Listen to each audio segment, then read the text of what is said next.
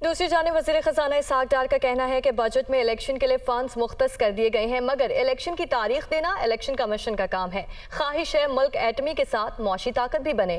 Post budget press conference में उनका मजीद कहना था कि मौजूदा बजट नया बजट रिवायती नहीं, गिरावट रुक गई, हम मुस्तकम हैं अहदाफ हासिल करेंगे। गवर्नमेंट की इंटेंशन काबीना के हद तक उसमें उनके अपने मिनिस्टर मौजूद हैं। जो अप्रूव किया उन्होंने बजट उस पर इलेक्शन करवाने के लिए अमाउंट रख दी गई है। टाइम मैं मैं तो इलेक्शन नहीं कराने ना, मैं चीफ इलेक्शन कमिश्नर तो नहीं है, या इलेक्शन कमीशन तो लेकिन हमने, हमारी इंटेंशन हमने पैसे रख दिए हैं तो इसका मतलब कि इलेक्शन टाइम पे होने चाहिए। पीडीएल के रेट पे भी मुझे रात सवाल हुआ कि जी, क्या आप कोई बढ़ाने जा रहे हैं? मेरी इस गवर्नमेंट की कोई इंटेंशन नहीं है। काश कि हम अपने आप को जो है ना, इस सेक्टर को रिफॉर्म करें।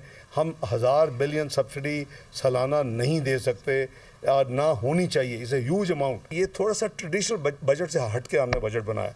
तो हमें फोकस करना पड़ेगा कि देखिए you have to start somewhere growth होगी तो आपका ये मज़ीद पहिया चलेगा। हमारा मेन ये है कि वनरेबिलिटी बहुत स्टीप थी और बहुत गहरी थी।